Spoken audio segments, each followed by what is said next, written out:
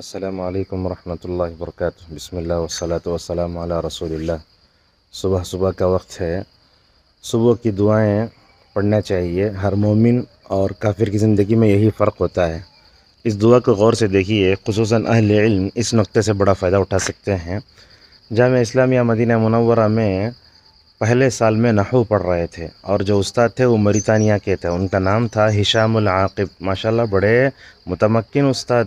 پوری الفیہ ابن مالک ان کو یاد تھی، جس میں تقریباً ہزار اشعار ہیں نحو سے متعلق۔ وہ شاید کانا کے، کانا اور اس کے اخوات کی بحث پڑھا رہے تھے۔ تو اس میں انہوں نے ایک بات بتائی، اصبحنا و اصبح الملک للہ رب العالمین۔ یہاں دیکھو، اصبحنا کے معنی دخلنا فی الصبح صبح میں داخل ہو گئے۔